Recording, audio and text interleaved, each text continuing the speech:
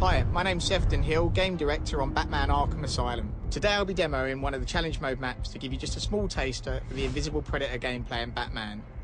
Let's start with looking at what is Predator gameplay. No Deep inside Arkham Asylum, Batman is faced with insurmountable odds. The place is full of Joker's henchmen shipped in from Blackgate, and they're armed and ready for him. And as we all know, Batman is not superhuman. They know you're coming, but they don't know where or how.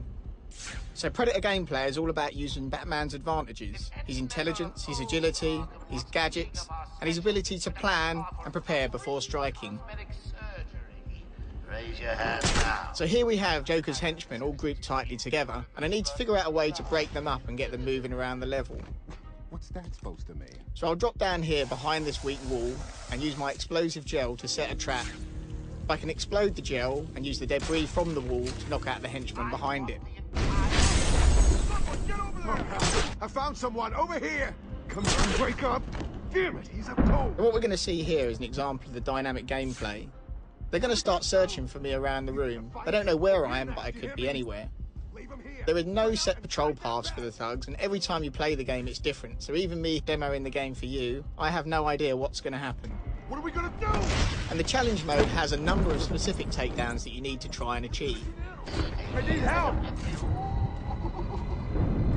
You're on your own, man. Rules have changed. Uh, let's try a more aggressive takedown.